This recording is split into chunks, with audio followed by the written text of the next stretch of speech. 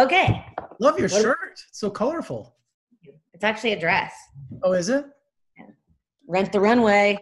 I was going to say a lot of people. Uh, the big thing in the news is everyone's doing tie dye right now. So I thought maybe you were tie dyeing something. Yeah. when that that's a little creative for me. Well, thanks so much for joining me today. And uh, how you doing in quarantine? I'm doing great, actually. I'm kind of loving it. And you're get to be next door. You're next door in Los Angeles, right? Yeah, I'm in Los Angeles and my kids are in, at home homeschooling. So luckily my husband does most of that. And you still love your kids after all this time? I think I love them a little more. I think I see your husband going up the stairs behind you. He just disappeared. That's my boyfriend. Oh, that's your boyfriend? Oh, okay. Oh, well, uh, you just have an incredible story. And uh, when I was doing some research on you, because we're here really to talk about cherry picks, but when I started doing research and I found out really who you were, you have produced some of my favorite films over the last few years. Uh, the Squid Oh. Whale, Swiss Army Man. I'm just like, oh my God, of course I want to talk to her. Oh, great. So sorry I have this. Okay. Oh, it's okay. It's in the, in the world of Zoom, we get the clicks and the, the messages and everything. But tell me about your story. So you grew up in Vail, Colorado. Like, how did you get to Hollywood? By no, um, actually, Brian Dennehy, um, you know, who passed away recently, was a friend of my father's, and he uh, was my mentor. And um, I saw him do a movie once when I was little and on set, and fell in love with it, and just said, "This is what I want to do the rest of my life." And then from when I was eight years old on, I was doing whatever I could to be in the movie business, and uh, got a degree in in New York, and then came out here and struggled and then set up my own production company and I- don't know how I ended up as, as a doing a website called Cherry Picks. I mean, how that was never part of my plan, but it Oh. happened. and Brian Dennehy, you know, I'm Generation X, and he just, I grew up watching him, you know, everything from Cocoon to Silverados, one of my all time favorites. Oh And, and you know, he was brilliant on, and he was brilliant on the stage too. He was a great stage actor. Yeah, he won a Tony in 1999, and I got to be there with him at at that Tony's. So it's it's it's bittersweet, but um, you know, he had a great life and he inspired so many people and and and, and was able to inspire me. And I'm glad I saved his texts. And you're from Vail, and all of my family's from Grand Junction. So, No, uh, no way! Oh my God, we're neighbors. well, Yeah, I'm, the, dad ol- lives I- I'm the only one born in Las Vegas. I'm the only one born in Las Vegas, but all of my family are, they came from Grand Junction for many, many years. And I spent many summers as a child in Grand Junction where everything was named after the county Mesa this and Oh, Mesa that. Yeah. I got my ears pierced in Grand Junction at the only mall that we had to drive to. That's hysterical. We used to go through Fruita, which was bigger than Grand Junction, Yeah. I think, back then. Yeah, so it's Yeah. crazy. Well, welcome to Colorado, fellow Colorado. Thank you. I love your shirt too. You bowling? Huh? No, it's my thing as the Vegas film critic. I do all these different kind of shirts I have, you know. So yeah, it's kind of Oh, retro. I love that shirt. Well, thank you. And so, how did you find your best talents when you got to Hollywood? Because there could be so many things. You obviously ended up as a producer and many other things, but how did you find out which talent was best suited for you in Hollywood? Uh, I haven't found that yet. no. Um, you know, honestly, it's just, it's not like finding a talent or whatever, um, because so much of it is really just about passion and joy, right?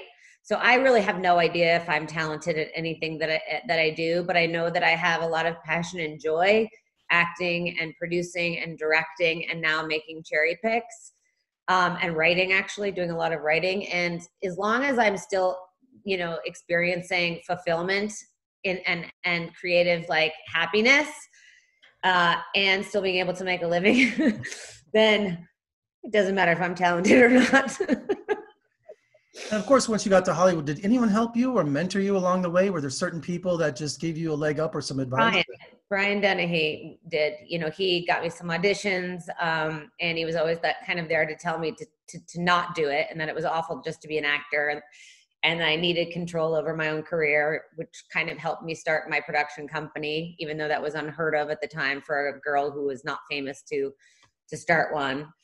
Um, but I did partner with a man at the time because that's kind of what you needed to do back then. Um, and but no, I had a hard time. It was a much i mean nowadays i think women are much more um, willing to and wanting to mentor other younger women. Whereas before when i first got here 20 years ago it was more of a like don't get in my lane. Well that's changed a lot. It's changed a lot. Thank god and uh, being a producer, I mean, listen, Swiss Army Man, The Squid and the Whale, being Frank. I mean, I was at Sundance. Did you? And my best friend's Tony Toscano in Salt Lake. I so, talk to Tony. Yeah, I know. And so, wait, did we? I interviewed uh, Gaffigan when he came by our suite that we had. So, were you there? Did I not meet you, or? Probably you did, but he was there. He was at Sundance for um, the movie on Amazon, and we had done Being Frank before that. We had done Being Frank we were at South by Southwest the year before, and it was like on tour. Yeah, because so we really it. Jim always shows up anywhere at Sundance, right? So I get confused over the years what movie he was there for, and I think we did 40 interviews in January in our suite. Yeah, it was that many people came by, and we had to turn people away. We couldn't we couldn't handle anymore. Yeah, no, Jim. Um, yeah, being frank, thank you. And I directed. That was my first narrative feature directing. So that was. I think that's my fit, my my biggest fit right now. And when you shot Being Frank, uh, you know, a lot of famous directors talk about anytime they start a motion picture, they never sleep the night before. Some get sick, some get nervous. So, how were you the night before you started directing your first film? Um, I was fine actually. It was weird. I um it's very hard when you're directing a film because you start off, you know, like you have to be there first thing on Monday at 5 a.m. and then like by the time Friday your daytime starts at like 5 p.m. right? So you're moving into night. So it's hard. So I did I will admit I did have to take some sleeping pills to keep my, you know, like make sure I slept, make sure I was on time. But um, you know, I've been on set as a producer at that point for so long, and I had prepared so much with the actors beforehand in rehearsals, and I had had so much um, good pre-production team that I don't think I was nervous. I mean, other, I, I was more nervous that we had Samantha Mathis, who had just come in two weeks earlier to fill another person's part mm-hmm. uh, who had to drop out. Now, I went to film school. I'm a Las Vegas native, and I went to film school at UNLV here, and I was their first film class. The first time they offered a four-year degree. And I wonder what kind of director you are because I can't stand the technical side of filmmaking. I can't stand lenses or or you know all of that stuff. I just want to work with the actors and see my vision. So like if I don't care about you know handling the camera. In fact, I have I get panic attacks if I have to do technical stuff. And I I did have to to graduate. You had to be a DP and all that. And I just that's what I was worried about. So as a as a director, did you kind of trust your DP to do all those kind of things, or are you an actor's director or both? Uh, uh, both. Um, I'm very interested in all the aspects of technology and and filmmaking and different types of filmmaking. So I was definitely very hands on. Obviously, I didn't operate the camera or anything because I'm not in that union, and I don't know what, what I'm doing. Hmm. Um, but it is something I'd love to learn. Not that I'd ever want to like actually DP my own film, but I don't know. I mean, never say never. I and, used the DP from um, the the movie I produced with Richard Gere called Norman Yes. Uh, and so it's my friend. He's Israeli, Israeli, and I have another movie with him as well coming up or getting ready. We shut down. And when I see your your uh, filmography, it just says so much about your personality. You know, Swiss from Swiss Army Man. I, I saw Norman, and when I just started seeing who I was speaking to today, I was like, wow, this really shows just these kind of films that are just quirky and independent, and it just says a lot about your personality and, and your vision. I love it. Thanks. I'm. Thank you. I'm Thank you for so much. I was watching Swiss Army Man for the first time. It's like, what the hell is this movie? And then just, you know, these that's the kind of movie you got to just got to get into and just talk about original. I mean, I never forgot that. I think that made my top 10 that year too. It's definitely the most original movie I've ever made, been a part of. And it's funny because, you know, a lot of people really, really love that film. And um, some people, I've had people come up to me and they're like, You mean Swiss Army Man? I hated that movie. and I'm like, oh, okay, okay, cool. You know, I mean, I think it's really great if you can get good, strong feelings either way. Right. And, and talk about, you know, Daniel Radcliffe just trashing Harry Potter and just forging his own way in Hollywood, doing so many different kinds of films. I just applaud him for that. He's just, it's just a great guy to do something that's nothing what people expect. Yeah, and he's you know he, he is so talented. I mean, there was so much physical um, like acting that had to be done to play a corpse, make it believable that you're a dead guy and you're talking in this guy's imagination. I mean, it's it's so there was so much physical like acting in that, and he was a master. Now, being a Las Vegas native, I know all too well the amazing Johnathan. And, I, and, and I don't know if you were there that night. I was there for the premiere of his film at the Palms Hotel. I was there.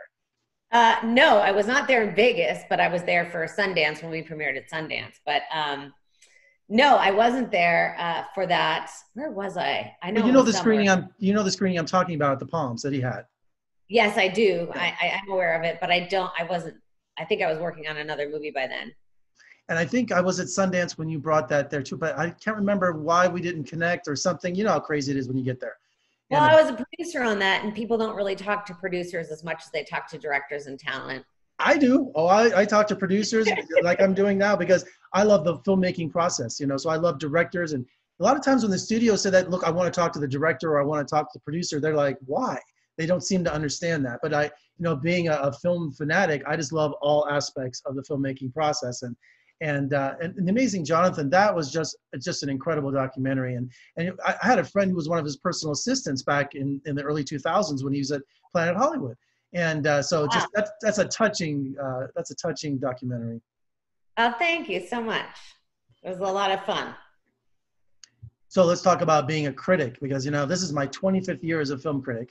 And I, I went I, you know I went to film school and I was one of those kids that came out thinking you know I'm going to be a director I'm going to be a producer and I did a movie show at UNLV TV back in the day and with another film student. And I said, look, why are we going to try to break into Hollywood with a script or or student film? Let's get in through criticism because Siskel and Ebert don't speak for our generation. And so once we we got dual baccalaureates in film and journalism communications, we started right away.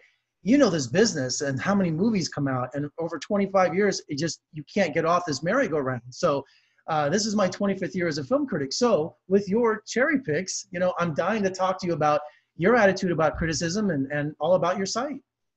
Sure. Well, thank you. I mean, I think like you kind of put, you hit the nail on the head that people seem to forget. And when I say people, I mean filmmakers. they seem to forget that, that critics are film lovers. Um, and, you know, are really knowledgeable about film and film history and how they're made and everything. And their criticism, whether or they like your film or not, shouldn't necessarily matter to you as as you know as your own as your own filmmaker. I, for me anyway, I mean, no one likes to get a bad review. I've gotten tons of bad reviews, but I like to grow from those reviews as long as they're, you know, um, helpful criticism instead of just like, I hate this person, whatever, but criticism that's like, you know, the music didn't hit or this was slow or whatever. I'm like, oh, wow, that's good. I can learn from that. Um, but you know i started cherry picks because you know we've been uh, taught to look at a score of a film on metacritic or rotten tomatoes and based on that score it's either don't see it or see it and that's really hard as a filmmaker um, and a, a, producer or distributor or whatever and um, i wanted something that was more like well because i think there's some movies that are worth seeing just not worth going to see you know what I mean? Oh, and yeah. there's something like you don't want to miss. And then maybe that's just because I'm a woman. So then I was kind of like, well, where's the female critical score of this one movie? Like, where can I where can I find all the critics that are women and like average what they think on this? And it didn't exist. Like, uh, there was sites that had women, you know, women writers on it, and there were like, you know, 25 something, 22% of the women in Rotten Tomatoes which is not enough. It's like, yeah, definitely. 50 50. Mm-hmm. Um, and uh, so I just decided I would make I would make a site that would collect the female or female identifying kind of point of view of movies because we we like not not that we're all the same or you're all the same or anyone's all the same, but um, I don't know. I just think well, there's different tastes. Now, okay, now you're doing the cherry picks, you're doing the movie reviews now, but if you're serious about criticism, where, where does your, how do you take it seriously? Because if you're going to be a critic like me professionally, we review maybe two, 300 movies. Well, I don't, we don't review any movies on Cherry Picks. Well, I mean, That's but I mean, you just talk about, you get, get them together and you talk about different topics, all right? Well, what Cherry Picks is, is it's actually um, a site where we curate other film critics. Right, so right, right. Mm-hmm. Grab all of them and we basically link to those sites so that these critics – can actually get attention for their blogs or they've been hired by the New York Times, yay, uh, or you know they've gotten other jobs and they're writing for other places and really highlighting the women's voices who are writing about those movies and they are professional critics. Now at the same time, we do hire um, female journalists as well to write entertainment pieces about movies that are current or coming up. So we have one on there about you know women who kick ass, you know, women of action. You know that Valerie Complex, who's a cherry picker. Um, what that means that she has a profile on our page and she can share it and she writes criticism for lots of other places, but we pay her to write for us more like entertainment stories that we think are important for that women want to read. And with the pandemic, I have seen so many of my colleagues being laid off or uh, it's just they may never come back once if when hollywood starts back up again uh, a lot of uh, blogs a lot of radio a lot of television they're just a, you know entertainment's the first thing to go you know when it comes budget cuts so and freelance yep. writing is so one of the things that we wanted to make sure we did for our cherry pickers which are the female writers out there is allow them to have a Patreon link, or uh, I don't know if I'm pronouncing that right, in their bios so that they could not just be like, hey, give me money, but they could share their work and and ask for like donations that way with the work that they're doing, whether it's on other sites or through our own. I have one myself. I have a Patreon account too. We, I think we all do because you know, and it's amazing that the response has been for people who follow you and admire your work and turn to your work. You know, because that's how a film critic is. You find a critic that matches your taste. Yes, exactly. Yeah, exactly. Right. And uh, so I have my Patreon account up there too because revenue has dried up considerably so quickly uh, because Hollywood's closed essentially. Um, and as yeah. a producer, tell me about what you think uh, the 2020 award season is going to look like. What's your opinion? Well, you know, the whole award thing for me, I'm still, I, I, still really have very little knowledge of, other than it's very expensive and uh, unfair. Um, so I don't know in terms of the awards, but I can tell you that as a producer right now, you know, I was in the middle of filming this movie with Thandie Newton called God's Country in Montana, and we had two weeks left and we had to shut down. And that was a really strange experience to go through and knowing that you were laying off crew that was not going to be able to get a job anywhere else was heartbreaking. Um, and I'm worried about the the crew and those people, you know, who rely on the kind of day to day, you know, the PAs and the ADs and the second ADs and the ACs and all that. You know, that's what are they doing right now? Um, and and how hard is that? That that's more my concern. Well, it's uh, it's it's just one day at a time. That's what I tell people because they ask me all the time, and and believe it or not, um, we are busier than ever. With and this is what's great. Uh, there's a positive thing to the pandemic, is that now independent films, video on demand, and some of these real smaller films are really getting their time in the spotlight. And uh, so I've been reaching out to all these different smaller movies, and they're just thrilled to talk about it and getting all this attention. They, you know, because they have to fight against the big movies from the big studios. So as someone who comes from independent film, you know, it, it's it's alive and well right now.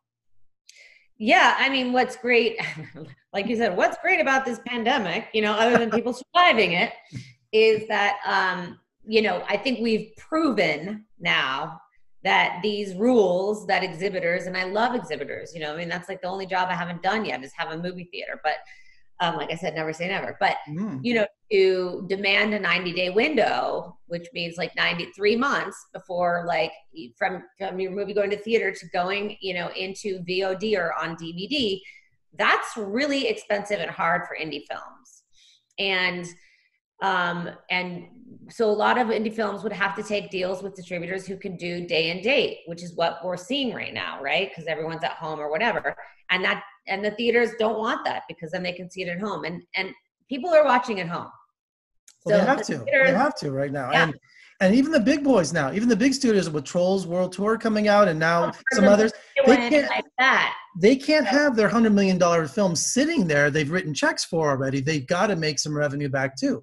They can go bankrupt. Are. Yeah, and they are. They are. Yeah. So really, this is about you know the exhibitors and about what you know and and what the financiers in terms of like the machines of hollywood like what they demand in terms of box office you know reporting for for demand and svod and vod is still not fully accurate and whereas you box office is very you know you can see it plain and simple. So a lot of things are going to have to change.